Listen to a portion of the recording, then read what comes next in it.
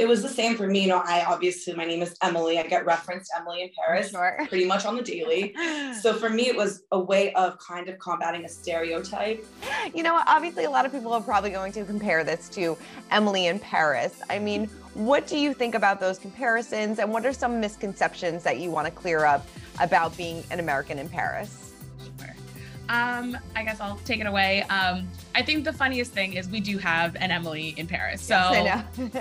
It, it has to be said, yes, we do have one um, in our little girl group. But I think that some of the ideas that people have about Americans in Europe or Paris specifically is that we're loud and we're kind of like out there and we're very, I guess, just we're just so much louder than Europeans. And I think that people have like secondhand cringe or embarrassment about that. But at least in our show, most of us are pretty established like within Paris. So we've like kind of gotten the vibe and there's less culture shock. Um, so while I might be loud at home, I do try not to yell in the street. First of all, I do not have a hot neighbor living downstairs.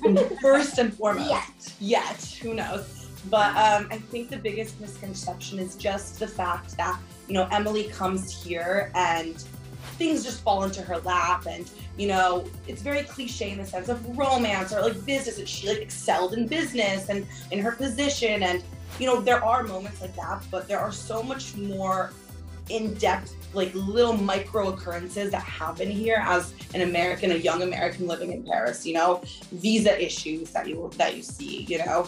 Getting wrong. getting robbed you know? Falling in the metro stepping on dog doo-doo in the metro you know little things that you kind of don't see and i just feel like it's time that the world sees what the real emily in paris is actually like I think that Emily in Paris is obviously, you know, a little bit more romanticized, well, a lot more romanticized than what Paris is really like.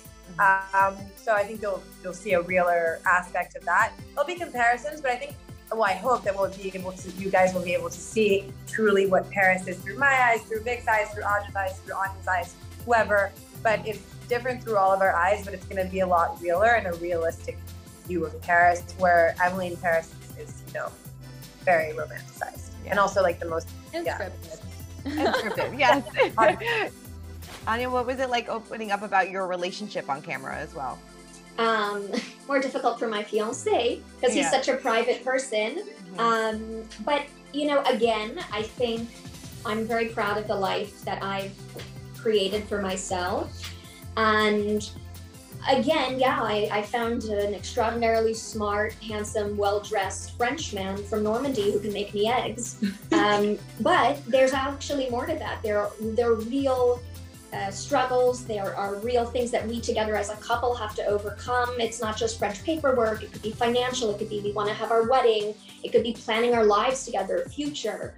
And I think it's important to actually show the real side of that. And I know many people will say, oh, this is so fake or staged, but they're actually, I felt very good about showing people the authentic me and the authentic us. And, you know, I, it's, it's, it's quite quick to be people quickly judge, especially based on appearance. Oh, you're in Paris, you're well dressed, you're privileged, you're spoiled, you're this and that.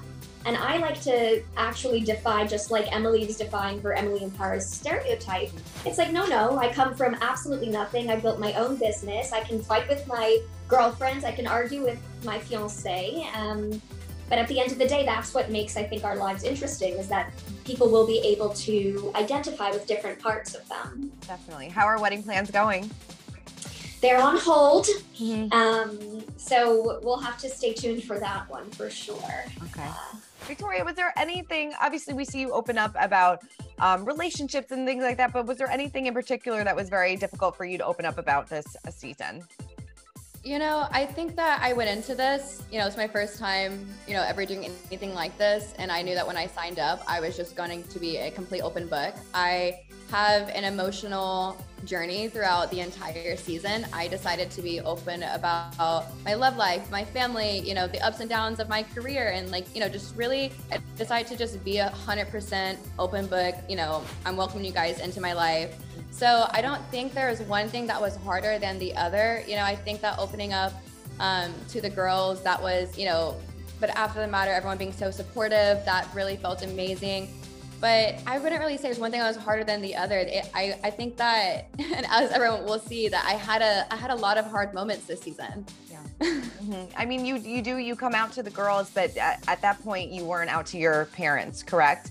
I mean, uh, what's been their reaction um, since then? Um, I guess you're gonna have to wait and find Wait out because you know that there are parts that are shown on um, the show, and um, the other parent there's a there's also a reason why um, that probably won't even happen. What's been dating in Paris like for you? Before that, it was fine. Um, I think someone was just a little a little shy. Um, no, I I've always had better luck dating in the state and the in France than in the states because I don't know. There's just so much. There's so much like history and baggage that everyone has, whereas in Paris, like a lot of people are also, you know, from the outer parts of France come into Paris for a fresh start. So you find a lot of people in the same dating mentality in Paris than back in LA because people in LA are like in you know orchestrated relationships and it's like in France it's like nope you're cute so we're gonna talk you know it's it's it's it's good Yeah. most of the time. Yeah. You know, obviously, when you have a, a, a tight friendship group, there's always going to be some drama. So, are is there some drama that kind of goes down between the girls this season? Can you tease any of that? I think to piggyback off what Casey said is we're a family and sisters fight. So stay tuned to see what about. But for the most part, I think like we're really supportive of each other. We back each other up. Like it's all it's all fun, you know? Mhm. Like we're young, we're hot, we're in Paris. Like what's not to love? What's not to love?